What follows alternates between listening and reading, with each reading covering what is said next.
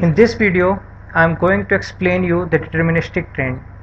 And uh, like uh, I explained in the last video also this is a continuation of many tutorials which are kept on this particular channel. So some of the things I'll be moving fast. So I'm going to explain you what is deterministic trend model what is the meaning of trend stationary process or what is detrending and what is over differentiating. So let's take a look one by one the equation of deterministic trend is given by yt d1 plus b2t and ut so what you need to understand yt is not linked with its previous value. Yt has no relationship with yt minus 1 yt is very much you know it's more given by b2 2 into t. That's the t term. And you know there is an error term. So error is for like you know having normal distribution you know with mean 0 and whatever variance what you need to understand if you put y1 it will become b1 plus b2 plus error term. If you go to y2 it will become b1 plus 2 into beta 2 plus error term. So essentially like when you are talking of yn you know or yt there are t beta terms right? But only one error term. And that's what makes it little different than you know stochastic trend. If you take a look the expected value obviously will be beta 1 plus t into beta 2 but the variance because there is only one error term will always be sigma square. So in this case you know actually the mean is varying but the variance and covariance is not a problem. I'll just show you in the excel also. Please understand the formula. Very much the same way I have generated these normal numbers.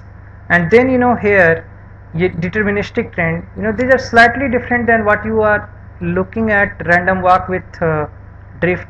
Because if you take a look here you know it is the fixed value plus error term plus you know drift parameter you know very much like the beta you know into this one. So essentially first time you will multiply by 1 for second time frame you know multiply by 2 into this so if you take a look here again you know c2 c2 is the starting value plus normal distribution uh, error point plus drift into this particular value. So I have put 1 2 3 4 so that you know like uh, it's continuation. So it's very similar to what you are seeing here. Beta 1 plus beta 2 into 2 plus error term. So here starting value is the beta 1 you know and then you know c4 you know take a look. C4 into c3 that is very much like the beta 3 term and plus the error term and that's what you are seeing.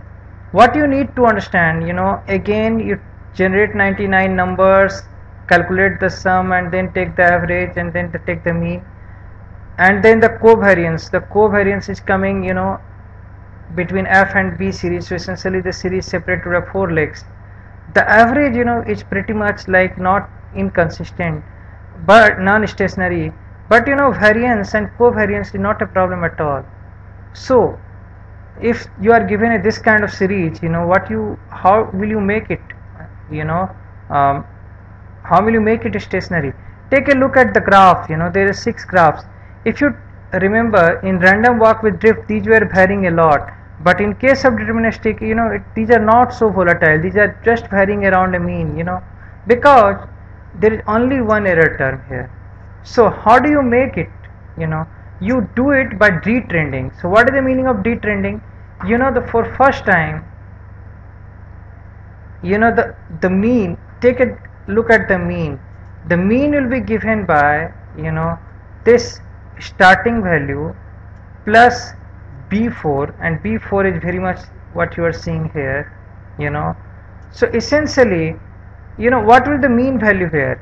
Mean value will be you know very much like if you take just the starting value plus you know 1 into drift right? So starting value is 1 and 1 into 0.5 which will make it 0.5 so start the mean will be 1.5 what will mean here? The mean will be 1 the starting value plus 3 into 1.5 which so 1 plus 3 into 0.5 3 into 0.5 makes it 1.5 plus 1 2.5 and that's what is the mean that is kept here right by this equation. You can take a look at the equation very well that what I am doing. Ideally you should do all these things in excel and just you know uh, along with me and then uh, see these things happening on the on your own. So now I have removed the trend thing. The trend thing is essentially like you know if I go to this PPT beta 1 plus beta 2 into t terms is the trend term right? So the moment you remove that particular term you know very much like you know take a look this is the mean term right? And from each value the moment you remove the trend term the beta 1 plus beta 2 this is the beta 1 plus beta 2 into the delta t. So the moment you remove from each equation uh, beta 1 uh, uh, u minus beta 1 minus beta 2 into t. You know this and take a look at how, what is happening to the series. You know the series the average the variance and the covariance. Everything shows the properties of stationarity. So the point that i'm trying to make you know a deterministic trend you know can be converted into stationary the moment you remove the trend so you remove beta 1 plus t star beta 2 which is the mean we calculated the top row. It becomes very much like the normally distributed uh, error terms which follows which has all the properties of stationary. So detrending stands for removal of trend from the equation. And think of you know when you can remove uh, you can make series just uh, by removing the trend. If you may if you try to do yt minus yt minus 1 you know try to differentiate it when there is absolutely no need to differentiate you can simply straightforward can remove the train and can make it stationary. That phenomena is called over differentiating so over differentiating is like when you're trying to differentiate a series where you don't need to do you just remove for example in this case you remove the trend equation and it becomes stationary. If you try to differentiate on those scenarios where differentiation is not applicable this is called over differentiating thank you